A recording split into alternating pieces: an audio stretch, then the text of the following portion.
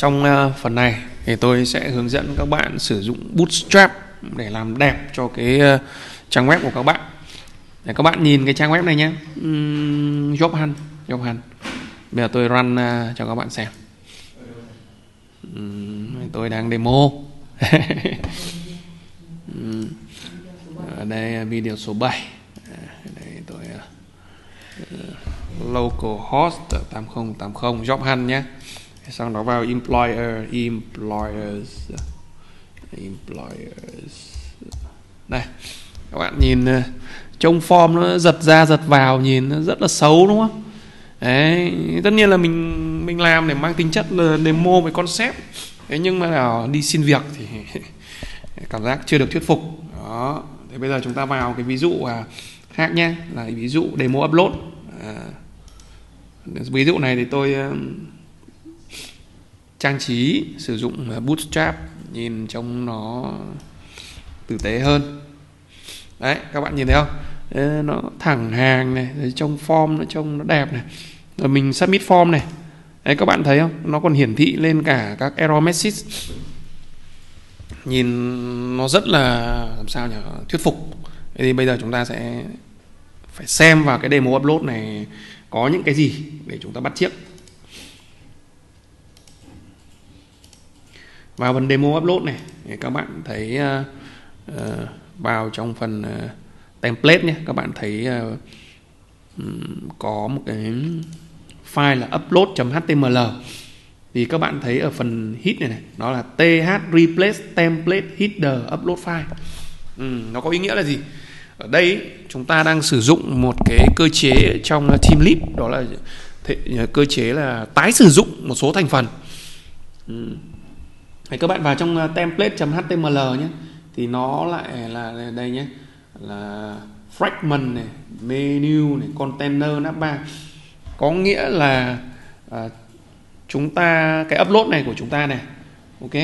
Tận dụng lại cái phần header tận dụng lại cái phần header của cái file template.html này. Thì các bạn nhìn thấy phần header đây fragment th fragment header ở đây mở ngoặc đóng ngoặc truyền cái title vào. Ờ, sau đó ở đây chúng ta có là uh, style sheet này xong rồi thref webja bootstrap 5.01 à, ở đây chúng ta đã sử dụng đến cái bootstrap. Thì cái bootstrap này nó nằm ở đâu? À, nó lại trỏ như thế nào mà lại là webja? Thực ra là các bạn phải vào trong file pom.xml này.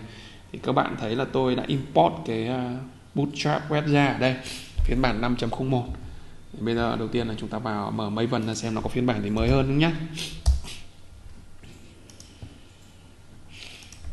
Bootstrap. Đây, Bootstrap web ra. Đấy. À, đây phiên bản ờ, 5.13 đây 5.01 rồi thì bây giờ chúng ta sẽ copy cái này.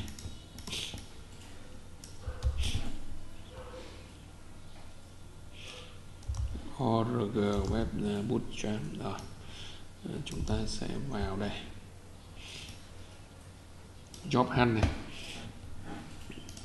Các bạn vào phần pom nhé. À, kéo xuống đây. Kéo xuống cùng. Ừ. có nghĩa là tôi đã sử dụng bootstrap này. Ừ ở đây vào phần à, template này, các bạn chú ý vào phần template nhé các bạn tạo cho tôi một cái là template.html thì cái file template.html này nó sẽ định nghĩa những cái fragment mà chúng ta sẽ tái sử dụng ừ. bây giờ các bạn quay vào demo upload okay. các bạn vào trong template, các bạn copy tất cả cái chỗ này cho tôi à tôi sẽ giải thích cho các bạn à, từng phần một của cái template.html nếu mà bạn nào đã học về HTML thì các bạn biết là ờ, một một cái file HTML đầy đủ ấy nó sẽ có phần uh, hai cái thẻ. Mở HTML đóng HTML hit. Mở hit đóng hit. Mở body đóng body. Thì cái phần hit này à, nó không hiển thị ra nhưng mà nó sẽ định nghĩa cho chúng ta các cái thuộc tính uh, tham số cho cái trang web HTML đấy. Thì ở đây chúng ta link đến cái web ra nhé. Web ra đây không phải 5.01 mà chúng ta sẽ phải để nó là 5.13 Đấy, phải đúng cái version không là không chạy được đâu. Uhm. title này th title à, chúng ta sẽ truyền cái tham số title vào đây. Ok. Ở đây chúng ta có một cái deep class container này brand thì bạn nào mà đang lập trình Spring Boot lại phải chuyển qua Bootstrap nó rất là, khoai. Tôi chỉ cho các bạn một cái à, uh, Scrimba Bootstrap Đấy, chúng ta phải học thêm cái này. Learn Bootstrap for free. Quá tuyệt vời. Uh,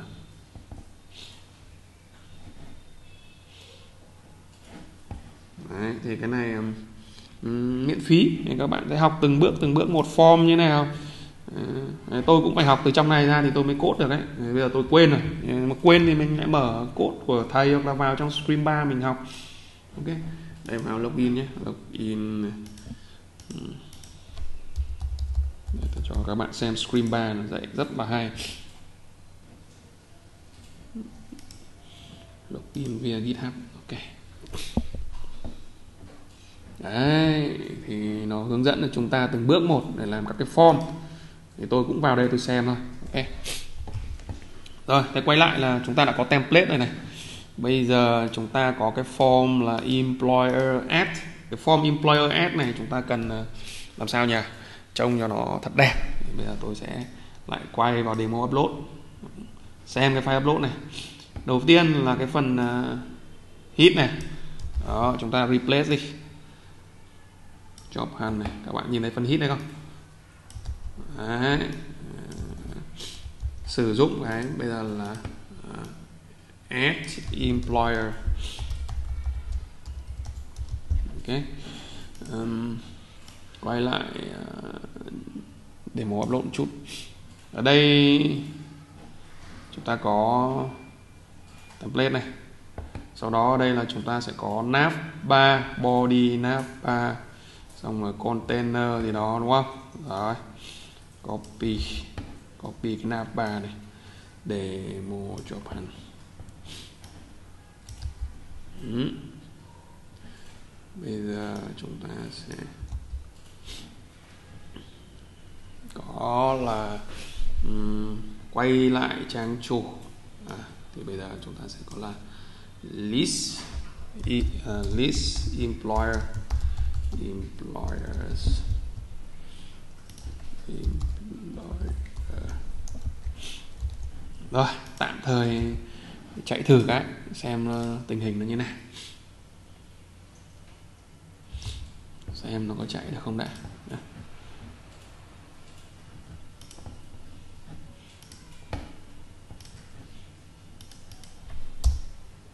Job hunt này. Employer employer uh, à, à, nhìn nó vẻ không được đẹp lắm nhỉ? Em mới biết lỗi sao?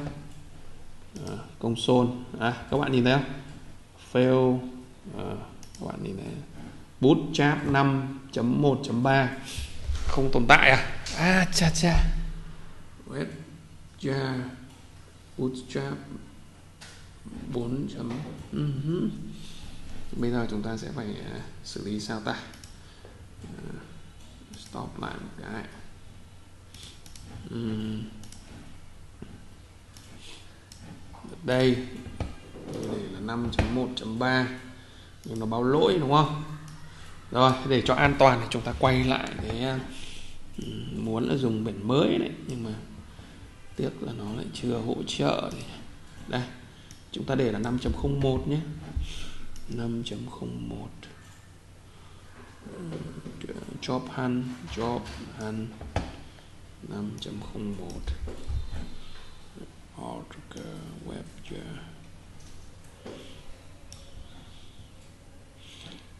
bootstrap, rồi. Ờ, ta vào phần à, template này để 5.01 xem này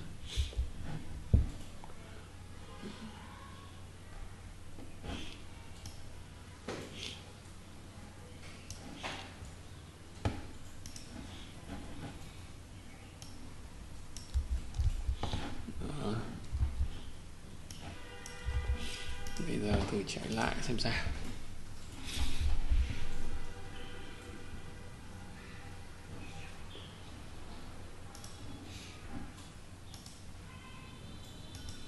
Sao ta? Ừ.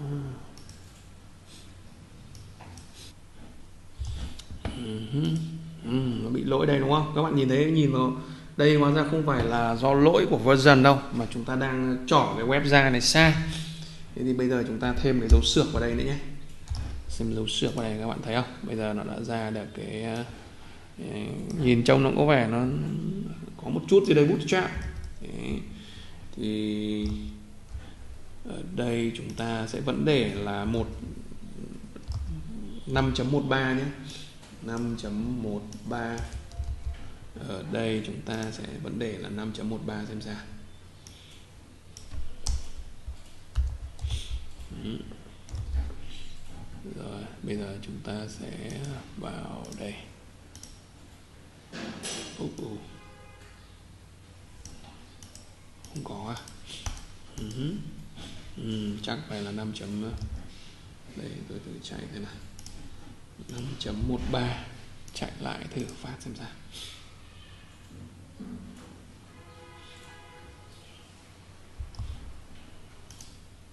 Ok đó, nếu mà chúng ta thay đổi cái file pom.xml thì chúng ta sẽ phải restart lại chứ thằng Spring Boot DevTool là nó không cho phép. Đó, để rút ra thêm một kinh nghiệm nữa nha. Bây giờ làm sao để làm cho cái này đẹp? Ừ, chúng ta lại phải vào xem trong demo upload.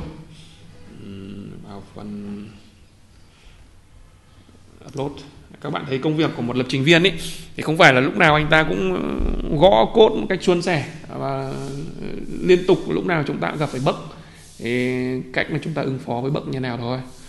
Đây, chúng ta có deep deep container này, form action này. Đây, các bạn chú ý nhé, container này, một row này, cone này, large 8 này mt5 này, sau đó mới cái form. Thì trong cái form các bạn chú ý là uh, chúng ta sẽ có form group nhé form group row nhé. Thế, sau đó chúng ta có name này chúng ta có ờ, mt3 này mt3 này xong ở đây có label này label nhé. Xong ở đây chúng ta mới có là uh, control này sau đó ở đây chúng ta có là text danger field has error à, cái này để dùng để hiển thị ra lỗi.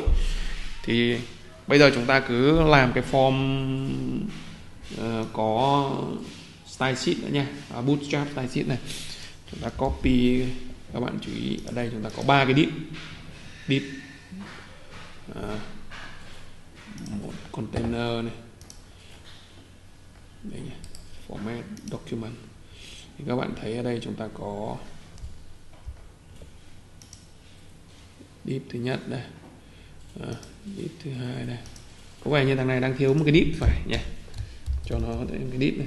Có vẻ như này mới chuẩn. Ok một cái nít này hai cái nít này ba cái nít này. Ok. Rồi bây giờ chúng ta sẽ copy cái đoạn này. Ờ, vào phần job hunt nhé. Phần job hunt của chúng ta employee app này nhìn form xấu quá trời. Ok.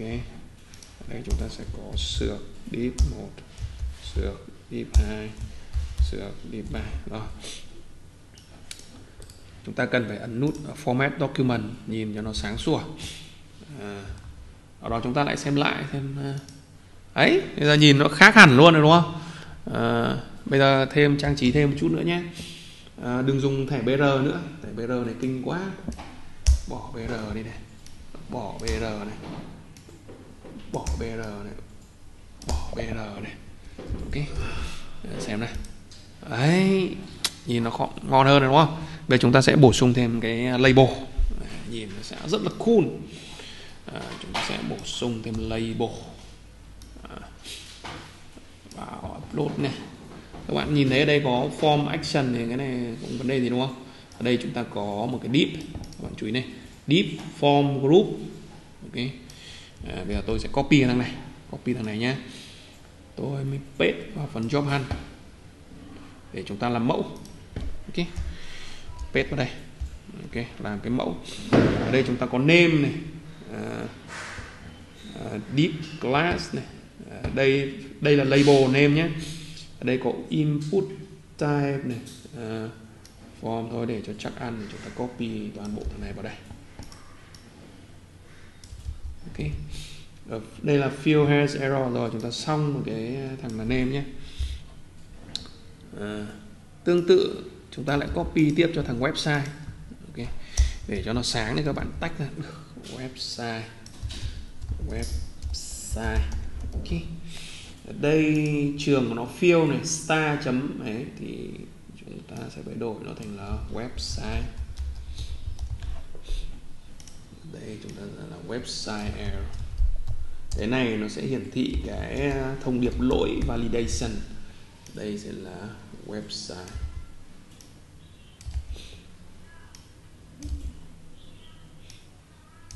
Sửa hết đi.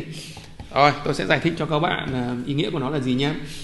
À, thứ nhất là form group row này à, cái phần label này nó sẽ là cái phần à, mô tả trường. Tiếp đến là trường thực sự của nó đây. Thì các bạn thấy là ID của nó bằng name này auto complete này xong chúng ta sẽ th field. Là nó sẽ ứng với cái trường name trong cái đối tượng mà mà chúng ta truyền vào.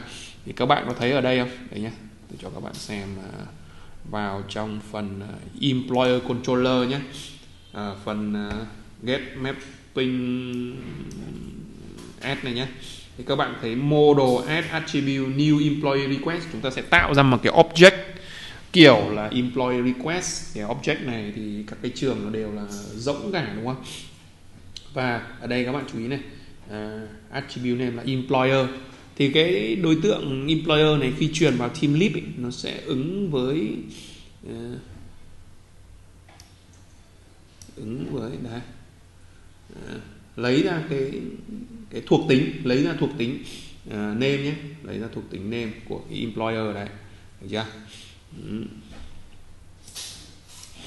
bây giờ chúng ta sẽ à, có là text danger, có nghĩa là gì?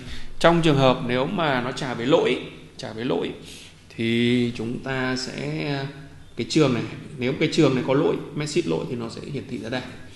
If th đây th error, display name này ừ, th error website là chúng ta sẽ bỏ website đây để coi tương tự với thằng email thôi làm cứ chậm chậm mà làm. Ở đây thì chúng ta sẽ có là thằng này là email. Thằng này nó sẽ là email. Này sẽ là email. À, thì các bạn có thấy uh, cái tách ở đây cái tách ở đây nó mang tính chất là gợi uh, uh, gợi ý cho chúng ta thôi chứ nó sẽ không hiển thị ra ngoài nhé. Email error ở đây chúng ta sẽ phải là id nó là sẽ email. Các bạn phải thay thế hết cho tôi. Thay thế thiếu nó cũng sẽ không đúng đâu. Ừ. Ừ. rồi bỏ được thằng email này.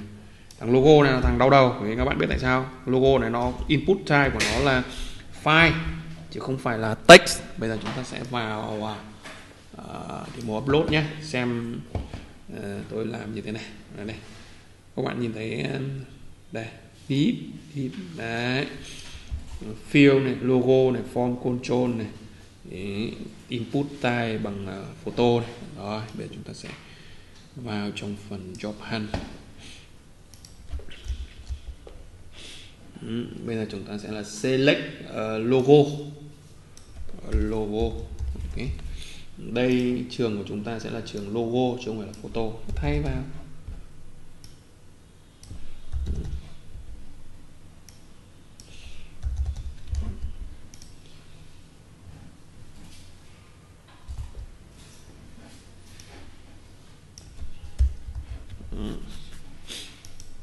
Nhiều bạn um, sẽ rất là phân vân. Khi mà à, uh, code bootstrap thì như tôi đã nói nếu mà bạn phân vân mà chưa hiểu ấy thì các bạn hãy bình tĩnh các bạn vào trong cái trang uh, uh, web uh, Screambar này. Uh, learn bootstrap for. Uh, người ta sẽ hướng dẫn cho các bạn từng bước một. Thế còn uh, trong cái video này tôi sẽ không đủ thời gian để dạy cho các bạn từng bước một để các bạn chịu khó nhé.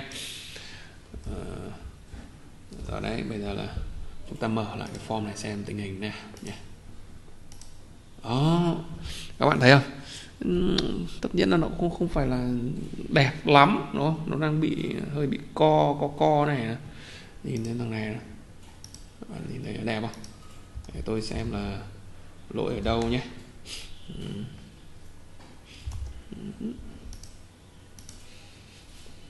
Select nó sát xịt vào nhau này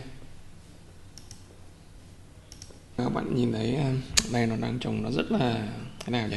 Sát vào nhau đúng không?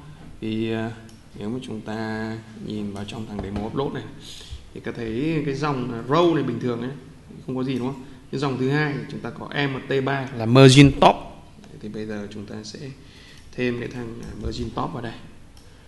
Vào trong phần job hand các bạn nhìn thấy dòng thứ hai nhé. Deep thứ hai này, này.